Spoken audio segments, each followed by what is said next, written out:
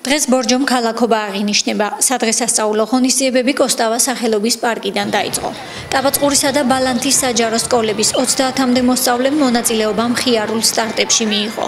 გამართა ასფალტზე ხატვაც. მე მგონი მეგობრობამ გამარჯვა აქ.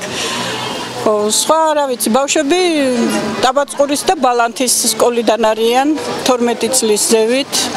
ეხლა ხატავენ, აგერ ხატვაშიც მონაწილეობენ. ბორჯომობაზე აი ქალაქის დღესასწაულზე არასოდეს არ ყოფილვარ და ეს პირველი არის. აქვე გამართა მკლავჭიდი და შეჯიბრი ქართულ ჭიდაობაში. გამარჯვებულ საჩუქრად ცხარი გადაეცა. კოსტავას სახელობის პარკში მოეწყო სოფლის კუთხეები. ბორჯომის ტერიტორიულმა ორგანოებმა ტრადიციული კერძები და ხალხური რეწვის ნიმუშები წარმოადგინეს.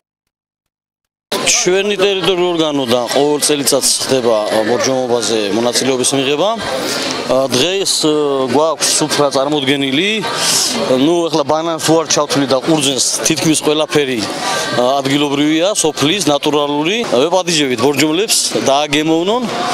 კარგი ღვინოს გვაქვს, ღვინოს დააჭაშნიკობ და რა ვიცი. ყველას ულოცავ, ყველას ულოცავ მორჯომლობას.